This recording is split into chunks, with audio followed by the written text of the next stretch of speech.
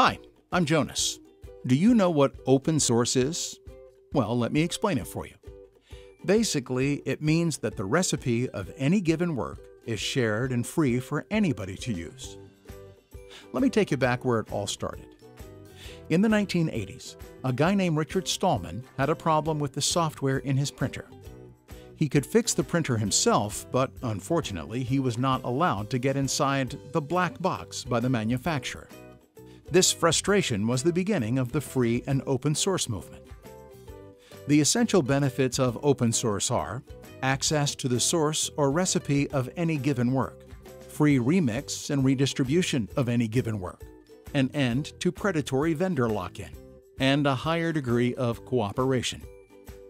Open source is originally a software-related term. But let's take a non-technical example of where the open source mindset is actually used today. Here's Dave. He is a really passionate skateboarder. He loves the community because everyone shares tips and tricks openly. This means that everybody has access to the source of becoming a better skateboarder.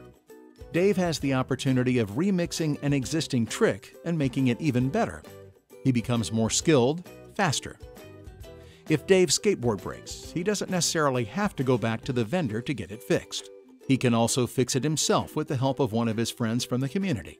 This is because the design of the skateboard is open source. In the skateboard community, you share new ideas and remix each other's tricks. You cooperate and reach much higher standards than any skateboarder could reach alone. Now let's take another example. Here's Susan and Michael. They have just bought a new property and now need a new house. John is an open source architect and offers three designs that Susan and Michael can base their dream house on. They choose option A because it best fits their needs. But Susan wants a conservatory as well, so Michael draws one and adds that as an extension to their chosen house design, option A. Susan and Michael choose Company A to help build the house.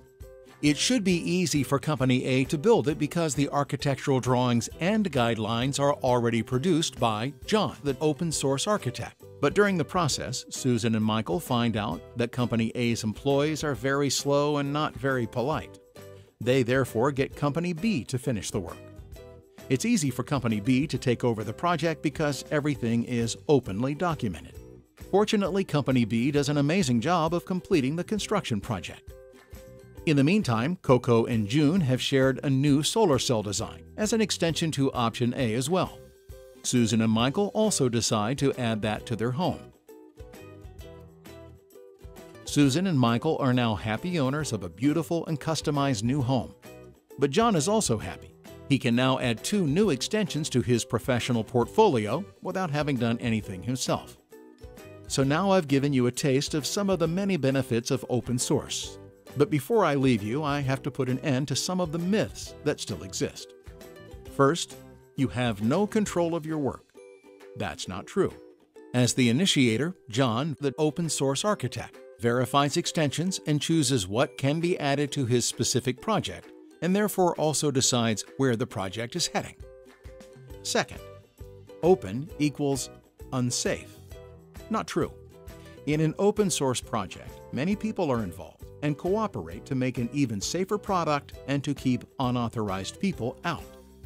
And third, everything is free. No, the source itself is free and publicly available, but the house must, for example, still be built, customized, maintained, and provided with water, power, and heat. Hopefully you can now better understand the positive term open source and the principles within. Please start opening up and use the extreme beneficial principles the way they deserve. As mentioned, my name is Jonas, and I'm representing Bitblueprint. We have, in collaboration with Moving Monday, made this video to help scale the positive principles within the open source paradigm. We have, of course, made this video free for everyone to use, modify, and share, so feel free to do that. Thanks for watching.